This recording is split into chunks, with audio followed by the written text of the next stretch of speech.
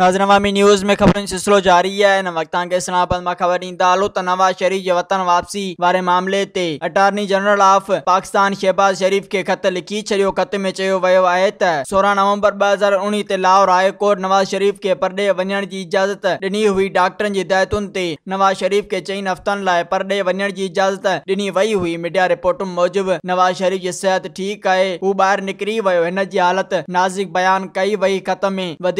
है हिदायत नवाज शरीफ़ जी ही लंडन पहुतो त हालत बेहतर थी लंडन वन नवाज शरीफ़ एक ॾींहुं भी अस्पताल में न रहो मज़ीद ख़बरों और तफसीत के लिए विजिट करें हमारी website W W W dot Awami news H D dot com